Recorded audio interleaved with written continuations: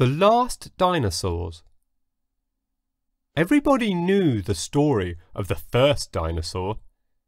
Well, the first dinosaur of the third millennium, that was. Earth's population had dwindled by the mid 25th century, largely due to mass sterilization caused by a new type of thermoreactor power plant that was supposed to be the answer to the world's energy crisis. So a population of 11 billion had dwindled to just over a few hundred million. This meant that there was a lot of land that was no longer being used by human beings, and nature started to retake great swathes of it.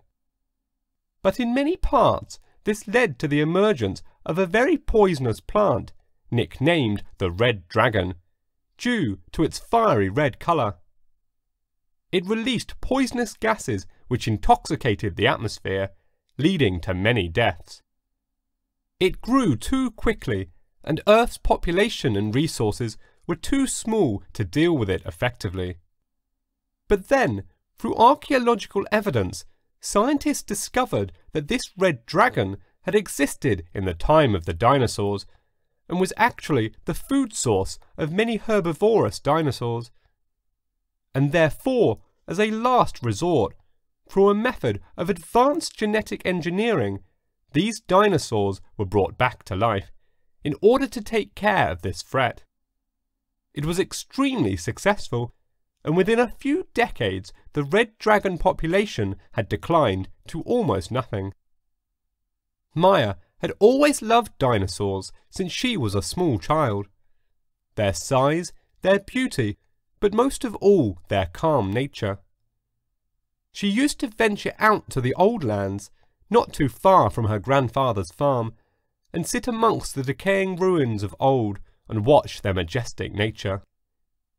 As a child, she had always felt alone and distant from the other children, but watching these gentle giants she felt safe and at peace. So, silly as it might be, when the news of the world ender reached her, she was more afraid for the dinosaurs than she was for herself. The world ender, as the name suggests, was going to end the world in the form of a comet. Ironically enough, it was similar in size to the one that wiped out the dinosaurs the first time around. It was as if some cosmic being objected to their existence, and whenever dinosaurs walked the Earth, it sent a rock the size of a city hurtling towards the planet to wipe them from the face of it. Humanity had tried everything to avert the disaster, from landing on it and trying to blow it off course, to launching the remaining decaying nuclear weapons towards it. None of it worked, and the comet just kept on coming. So these would be the last dinosaurs. Not the last humans. Humans would live on. On the moon, on Mars, and in the giant space stations orbiting Saturn. But there would never again be such things as dinosaurs. Humanity would no longer have the resources, the space, or the desire to recreate these ancient beasts. Maya wept, more for the fate of these ancient giants than for herself, which was silly, she knew, but that didn't stop her none the less.